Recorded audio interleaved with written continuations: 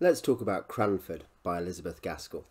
So Cranford is a classic. It was originally published in Charles Dickens's magazine The Rambler uh, from in, in the early 1850s and then a do-up version, a compilated version, was put out in 1853. Gaskell was a collaborator of Dickens and uh, fits very much in there. There is some humorous commentary in this book on the qualities of Mr. Dickens's work. It, it is a classic in more than one sense. It's not just that it was published uh, before the early 20th century or the middle of the 20th century, but it's also uh, that it's seen as a classic. Uh, probably in Britain is the most famous name of a story by Elizabeth Gaskell with a very popular television programme attached. Uh, it's not necessarily her most famous novel previously, historically, uh, compared to Mary Barton or Ruth or North and South. However, nowadays I think it's it's probably the most well known of her novels, at least in Britain. What's what is it about? Well, that's a, a hard thing to say. Um, it's a, a portrait of genteel poverty and intertwined lives in a 19th century village. Uh, really, what it's about is a number of old women who live in a country village and who live fairly quiet lives with their own natural domestic dramas, things that happen, talking about their past, their tragedies, their difficulties. It's from the perspective, it's a third person limited perspective, uh, sorry, a, a, first person limited perspective from a younger visitor, uh, Mary, I think her name is, who is essentially Elizabeth Gaskell. Uh, the narrator has opinions about things, uh, but is largely a sort of a, a, a an ink uh, pad on which our views are put you know we, we, we stamp in and we see the world through her eyes um, and uh, you know we are given our opinions through her. So there's not really a plot basically. There are a series of connected episodes as befits its magazine roots. However they are they, they build on each other. They gradually develop um, on top of each other.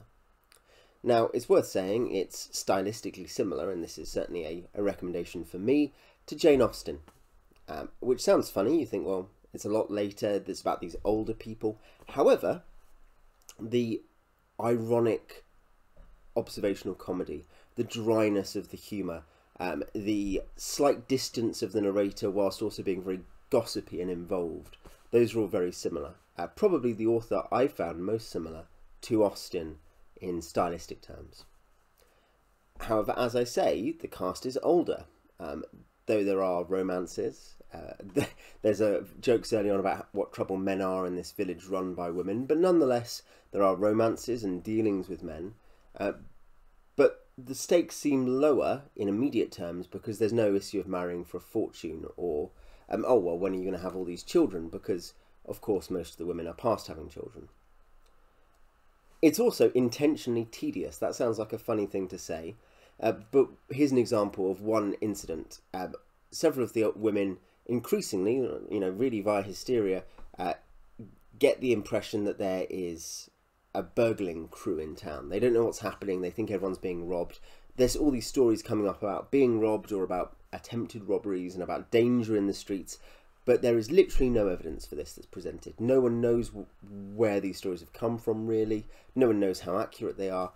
Uh, and the reveal of what's going on uh, really moves the plot in a different direction, and it's a very interesting direction. Uh, but that's what I mean. It's tedious in the sense of it's just the day to day actions of ordinary people.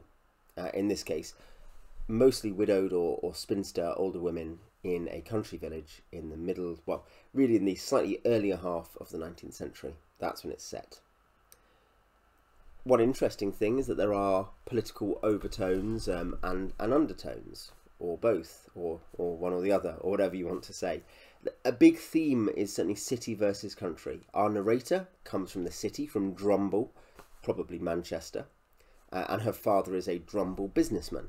The people in the country are poorer than the people in the city. The people in Cranford, uh, based probably on Knutsford in Cheshire, they are poorer, um, but they're also more traditional. And there's this tension between the previous order and the new order. The genteel poverty of people who um, kind of conspire never to demand too much of each other financially. They all pretend the reason they're not putting on an extra candle is is sheer, mere waste, or they've they've always had excellent night vision, or whatever the joke might be. But nonetheless, we are meant to side with these slightly ridiculous country figures. We're meant to see that uh, this rural life of stability, of um, of neighbourliness, of knowing each other well and for long periods of time, is superior to the capitalistic excess of Drumble. And this is important for Gaskell. She's uh, she was a Christian socialist. That doesn't mean she was a Marxist or a communist. Uh, she was really from a different tradition. Uh, but she sees the whole thing as uh, being about virtue, I guess, and vice. Um, and that both happens between country and city, but also inside Cranford. She addresses class in Cranford. These women are largely upper class or upper middle class. There are a lot of social rules. Um, and though this is often ridiculed, sometimes it's genuinely brought up as a matter of moral peril. At the same time, there's just a degree to which Gaskell also wants to reflect on the virtues of class, on the noblesse oblige, on the responsibilities these women take for each other and for their neighbours, um, and how they use their wealth to help others very often. Uh, there are extreme examples of snobbery and negative behaviour to do with class, uh, but there are also very different behaviours. And so her view on class is subtle. Um, it would, if you wanted the philosophic side of it, it would fit in with some of Marx's observations about the feudal classes before the bourgeois classes, but really it's very different. It's a very subtle book. It's a lot more subtle than North and South, or Mary Barton, or Ruth. Um, it's it's a silly book intentionally. It's a funny book intentionally, but it's just as serious deep down. Um, it's also short.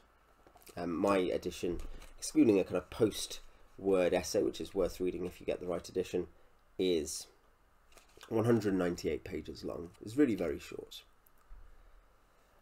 There is, on the whole, everything's very organic, natural. Incidents emerge naturally, emotions emerge naturally, drama emerges naturally. Sometimes the drama isn't what you're expecting. Uh, sometimes you think, oh, well, I didn't really think that would happen, or that person would do that. Um, not because it's unnatural, but because you're expecting really a far more novelistic plot when it was far more episodic originally. However, that doesn't offend, in fact, it works to upset our requirements of the novel. Um, the one thing, there is a one deus ex toward the end, one deus ex machina, one convenience.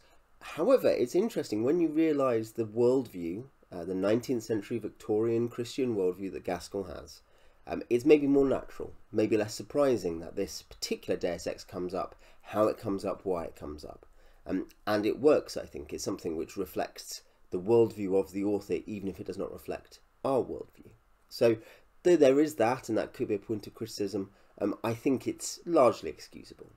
Uh, the final point I think I'd say, though, is that though I could say there's lots of humour, there's uh, class commentary, there's country versus city commentary, um, there's um, this plot that develops over the instances of the women and their various triumphs and tragedies and how they deal with each other and their neighbours.